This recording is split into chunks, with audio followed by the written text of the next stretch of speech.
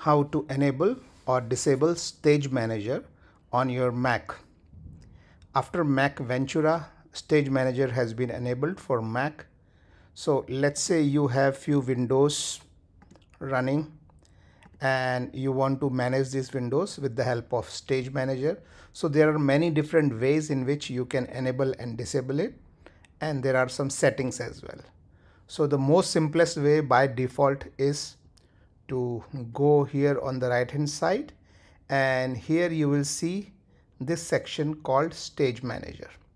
You just click on it and automatically you would see that uh, all of your windows has been moved into various stages. So let's say if you want to go to this one this one this one. So whatever you choose now your stage manager is enabled this is another feature in stage manager. Let's say you start something here and you want to have calculator with this. So calculator is here.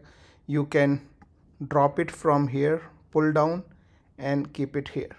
So now these two windows are in one stage. So you move out and you click any one of them but here you can see that these two are together. So for example two will come back. See this so this is one of the features. If you want to disable the stage manager go here and disable it from here. This will disable the stage manager. Now there is another setting. You press command and space and search for system settings. Start your system settings and here search for stage manager and select this option and here you can enable that your stage manager is visible in your menu bar. So now you will see that your stage manager is here. This will save you a click.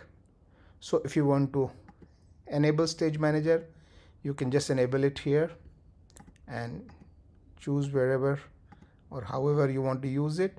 If you don't want to use it you can disable it from here. There are some settings as well for this here are the three settings which you can choose. I don't want to change anything here. So I remove this. So this is how you enable or disable stage manager either from here or from here.